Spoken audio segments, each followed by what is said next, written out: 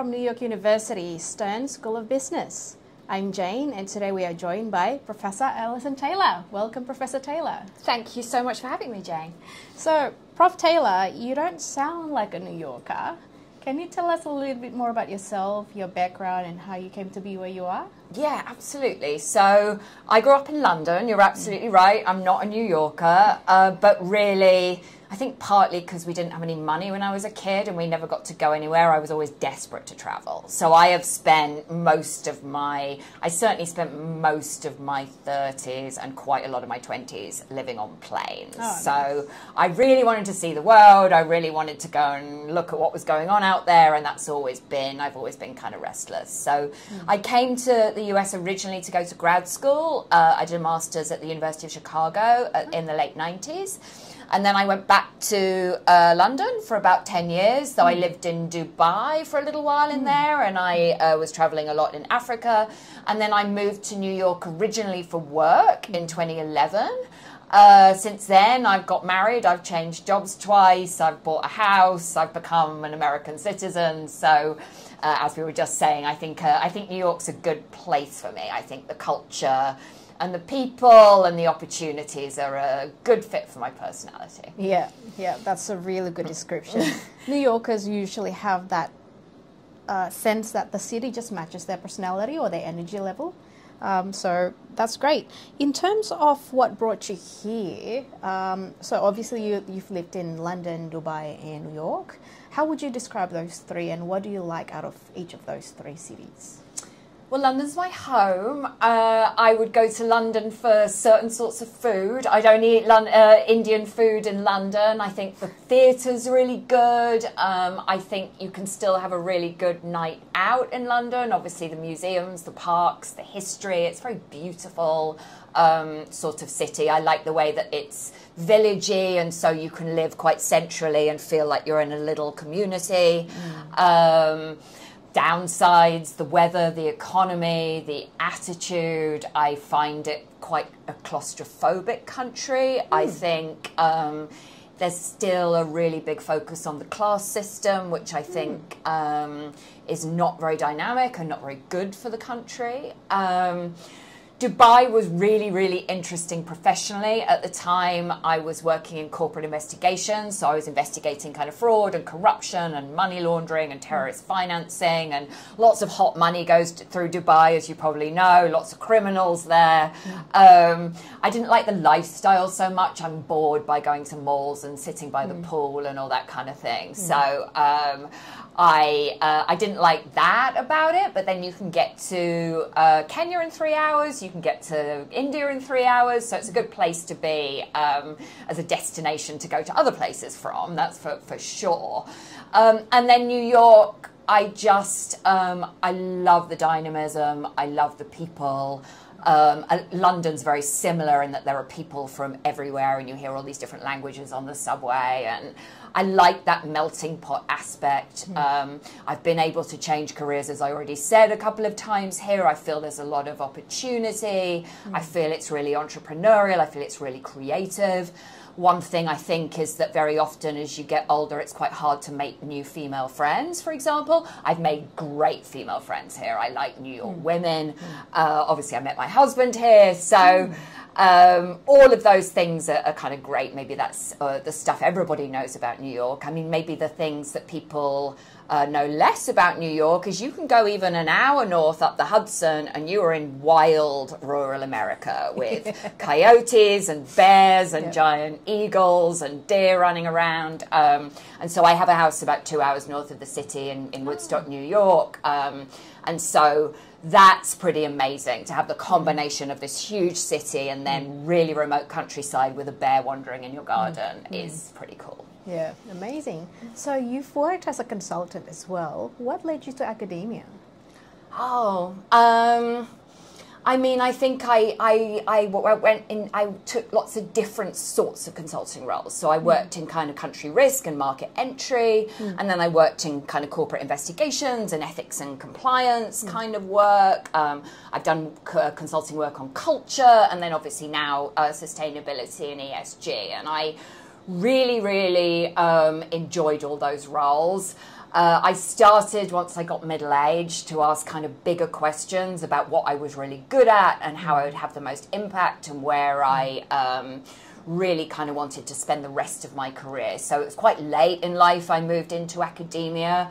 I decided I, I didn't want an office job anymore, I didn't want the sales pressure, and that I wanted to be in a role where I could think about ideas and where I could uh, maybe use what I'd learned to kind of inspire the next generation. I mean, um, I am sure I learn more than the students in the classroom. I get such a kick out of teaching here. Mm. The students are so brilliant, so practical, such a wide range of experience. And so I kind of think if I can help the next generation of leaders leverage their skills and think about stuff in a new way, mm. and I can accept my own limitations as a, as a, as a consultant, but I can maybe uh, give other people the ideas and tools um, to shape their careers, I think that's a good way for me. I've decided that's a good way for me to have impact at this stage in my life. Yeah. Um, and I think the other thing I would say is I'm not, you know, I'm not an academic, obviously. I spent my whole career as a practitioner. Mm. So that's my currency in the classroom. I think mm students like me if they like me because I've got a lot of anecdotes, I've got a lot of practical experience. I'm just sat in a university giving my opinion. Mm. Um, and so it's really, really important for me if I'm going to carry on teaching that I'm also engaging in the real world. I'm also still doing consulting work, advisory work, talking to companies, seeing what's out there. I don't want to end up standing in the classroom talking about something that was true five years ago. So mm. I only want to be in academia if I can also be in the real world as well. Yeah. Yeah, that's perfect. And that's the, the exact point that really resonated with me. In, in fact, that you did have the experience and now you're actually talking and teaching us about it because it was your life for a lot, very long time. Yeah, and I think it's easy enough to study these things and think it's simple. Mm it's a really different thing to be in an organization dealing with power and culture and leadership and you've got to get on and you've got to get promoted and what do you say yes to and what do you say no to mm. and everything's messy we're all making decisions on the fly so i can sit and teach you this perfect framework and this perfect decision making tool yeah. but that's not what real life's like yeah. so um, i think it's really important to bring that into the classroom discussion and not just kind of sit there on a pedestal yeah. lecturing yeah what i really liked what uh, about the very first class was that you mentioned that we still don't know how it's going to look like and it's still going to change. So it's not a, a really granular thing, right? Exactly, and it's mm. a really dynamic space. And mm. I like to teach, I mean, it's partly the topics I teach. Mm. I teach sustainability and ESG and ethics, and they're all really evolving fast. But mm also, when I was in grad school and I've done a couple of graduate degrees, I'd mm. sit in classes and professors would be like, here's a book and yeah. here's the way it is. And I'd yeah. be like, well, it's not the way it is because yeah. the world's out there changing. And so some students, I'm sure, find it irritating that I don't give certainty, you know, but I, I, I want to make real. it clear, yeah. right, with the topics we're talking about, mm. the people in the class um, that you're in, you know, you're going to be shaping the future of this field. So mm. I'm not going to tell you it's set if it mm. not Like, I want to give you the ideas. I'm not going to tell you what to think. You can decide for yourself what you think's relevant, what you think's valid. You're all incredibly smart people. Mm. It's not up to me to tell you the answers. It's up to me I think, to give you the concepts and the frameworks, and then you can look out there and apply them to your own life and see what's useful and what isn't. Yeah. Perfect. So the subject that you are teaching is currently called How to Drive Competitive Advantage Through Sustainability. If you had to um, describe sustainability in one word or in one sentence, what would that be? I think it's about um, thinking about um, the fact that we exist on a planet with finite resources, so not assuming that you can grow endlessly um, in a vacuum. And then I think it's also about thinking about the generations that come after you. It's about thinking about how we can have a society and environment that we're just not depleting resources and thinking about what's good for us, but we are thinking about the wider context, the wider social and environmental systems that we operate in. Mm. And I think uh, if you think about that idea that has a lot of incredibly profound challenges to how we've traditionally run and thought about businesses. So mm. I think it's it's a philosophical challenge to what mm. we're thinking about. It's also a really practical challenge because everything from planning to strategy to accounting is not necessarily taking account of these things. Yet we can all see out there very powerful forces in society driving us to think about these things. It's very, very clear to me younger people care about this stuff. They have very different values. But then we're in a system still that prioritizes other things. Mm. So I like how complicated and messy it is as a topic. yeah. So you mentioned before the practical area of it as well. So we are currently moving from a shareholder capitalism to stakeholder capitalism. How practicable is it? And how realistic is it? Or would sustainability will still come at a cost to shareholders? Um, I think the jury is out really on, on whether this is a cost or whether this is a benefit. Mm. There is evidence that if you focus strategically mm. on issues that are relevant to the business, relevant to risk, relevant to impact, relevant to the bottom line, mm. and you manage those issues well, it will be good for shareholder value um, over the long term. I think it's very often you'll see a debate, you know, in the media, is it better to have shareholder value or think about stakeholders? It's not as simple as that. It's not as binary as that. You know, even if you're just a real Milton Friedman advocate and you really only fit believe mm. in shareholder value, mm. you've still got to take, pay attention to shifting consumer demand, the fact that your employees believe in this stuff, mm. the fact that the world's much more transparent and you maybe can't keep your secrets or hide your unethical behavior anymore. So I think every business is going to be forced to adapt to these dynamics, whether or you don't have to believe in sustainability to shape these challenges. Hmm. So um, it's another reason it's so complicated and interesting. It's partly a story of risk, it's partly a story of value, it's partly a story of ethics and impact. And yeah. so I think a smart approach thinks in a very careful way about what the difference is between these elements and also understands that maybe it's not such a good idea maybe to expect business to save the world but it's perfectly valid to think that businesses should be making their own companies better mm. and more sustainable. So mm. I'm not looking for businesses to, to save the planet, but I am looking for businesses to make their own companies better, to reduce the harms, to make a good faith effort to deal with their externalities, to try to treat their employees with dignity and respect. Um, and I think that's important for its own sake, and I also believe it will correlate with sh- uh, long term shareholder value. Yeah. Excellent. So, not too long ago, you um, shared the, uh, an event by Sirius Global, and they hosted an annual event where uh, a lot of thought leaders from the ESG space um, shared their insights and perspectives. What do you think the future of sustainability looks like over the next three to five years? Well, there's a lot of debate about, at the moment, journalists keep calling me up and saying, is ESG a fad and will it go away? And I always say, well, no, it isn't because the, the wider kind of mega trends are absolutely not going away. We're very, very aware, much more aware as a society of climate change, inequality, um, and, and, and all the things I've kind of talked about. So, so there's no uh, possibility for me that this is a fad or it's just mm. going to kind of disappear. Mm. I do think there are problems with the concept of ESG when we've been obviously talking about this. So mm.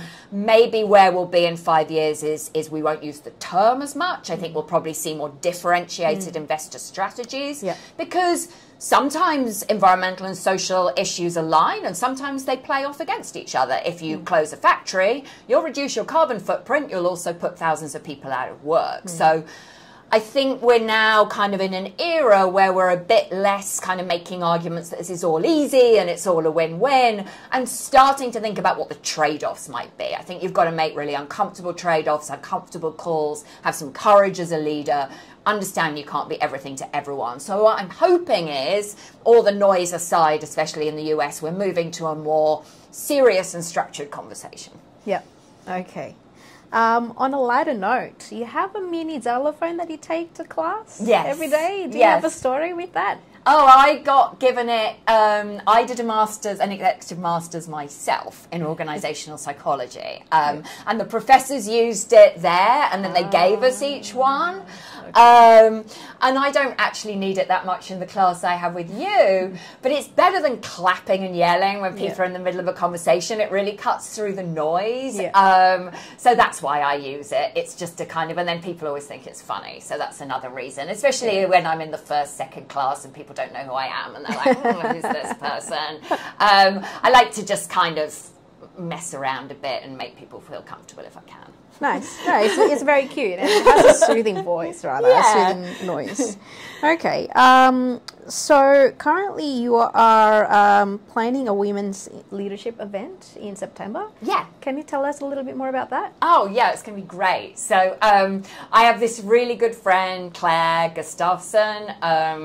She is uh, she's just amazing. She's got uh, she's very very charismatic. She was a, a, a very successful opera singer. She's the best dancer I've ever seen. She's an amazing baker. I'll send you her Instagram page. But she's also um, an impact and leadership coach. She's done amazing things like go to Saudi Arabia and teach women how to have leadership presence in obviously difficult country for women. Um, and she's a Gestalt psychotherapist. So another thing I, I kind of really like about her, she can do cult coaching, but if you need therapy as well, she can do that. So she does a lot of work on leadership presence and owning your space and kind of being confident and managing stress. Um, I obviously do a lot of work on sustainability and ESG and leadership from that perspective. I also do a lot of work thinking about ethics and culture and group dynamics and leadership. So we're going to try and bring it all together. We're going to get a, a, a group of women together um, upstate in the Hudson Valley. It's very good timing for Climate Week, where people come here a lot.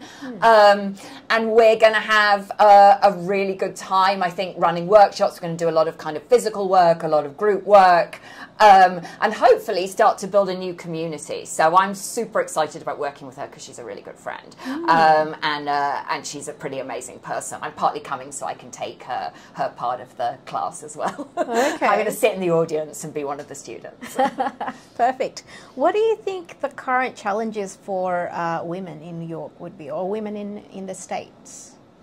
Well, um, the most obvious one is that um, there's no maternity leave. It's one of about three countries in the world with no maternity leave. You have to take sick leave to have a baby. Um, I think the childcare isn't very good. Um, I think the schools aren't very good. So there's a bunch of, of, of stuff I think that just makes life really hard if you want to have um, children. Um, there's then a bunch of stuff that I think is probably true of women leaders in general, right? You can't win, you know, you're too aggressive or you're too timid, you're too old or you're too young, you're too loud or you're too quiet. You kind of, you know, there's a lot of people in organizations making assumptions, projecting their assumptions onto you. Um, and I think this is genuinely difficult to kind of manage. And so, um, as I get older, um, I think I'm a little bit better at owning my space, a little bit better at pushing back on stuff. Something I hear a lot in the classroom, or when I say this, it seems to always really resonate with the women in the room. I still hear women in the office getting a lot of soft pressure to do what I would call office housework, like running the intern offsite, you know, managing the recruitment process, doing the internal training, doing stuff that's essential, the business couldn't run without it, but isn't necessarily promotable. Yes. So, and I do not see men being, and I Hmm. think people of colour, this happens as well, especially with diversity initiatives. Hmm. I do not see men being soft pressured in the same way. Yeah. So I think a lot of it is about owning your space and pushing back on that stuff, and that is super, super difficult. Hmm. Um, Something that gives me a lot of cause for optimism, though, I, the young men I see in the classroom, I think are very, very different from my generation.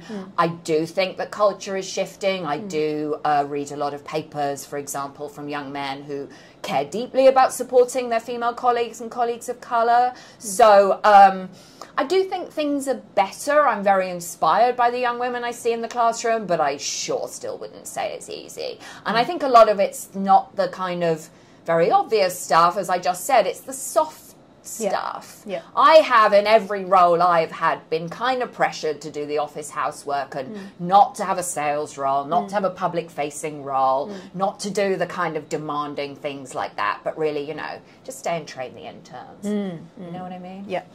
Okay. All right.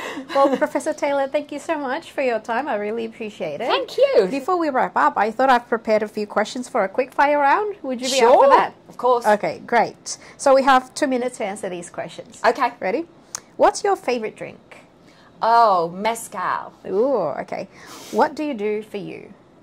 Uh, I do an hour of yoga every morning and I will not be interrupted. Well, I do two things. First thing is I have to wake up really slowly and I have to drink coffee in bed and read the papers and I, nothing is happening quickly and I'd rather wake up earlier so I can do that. And then I do yoga in the morning um, and that really calms me down and is really good for my mental health and means I, no matter what, I've got an hour, I'm not on my phone, Yeah. I'm not dealing with my family, Yeah. I'm not dealing with my job, and I think that's to the extent I'm saying that's why.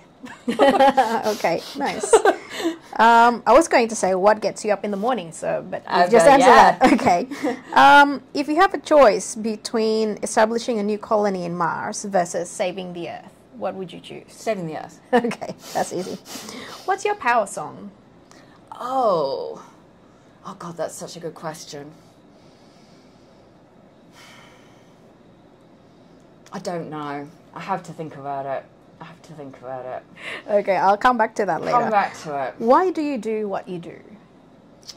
Um, because I um, I'm really inspired by what I do. The idea of getting bored by what I do is crazy. I could teach the same class 20 times and it will be a completely different experience every time because it will be a different group of people, different reactions, different personalities, a different group dynamic. Stuff will be happening in the real world that we can talk about in real time. This is something I could do for the rest of my life and never get bored. Lovely. Okay. Um, and what do you want to be remembered for?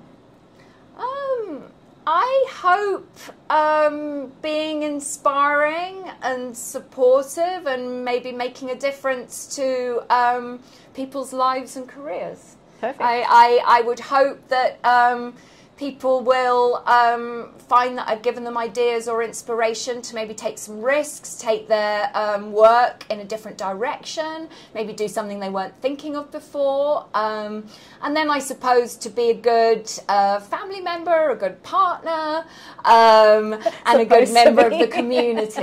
Yeah. Okay. All right. And your power song? Back to my power song. I mean, I, I- what's popping into my head is "You're So Vain" by Carly Simon, but I don't because it's just such a kind of yeah, Yeah. song. But something like that, "I Will Survive," something like that, okay. Lovely. some kind of women power ballad. Yeah. okay. Well, Professor Taylor, thank you so much for your time. I really appreciate starting for you, uh, starting from you. Thank you so much, Jane, for having me. Thank you. So, if you like our conversation, please press the like button, comment, and share with your friends. In the meantime, don't forget to press the subscribe button so that the next video will go straight to your box. See you next time.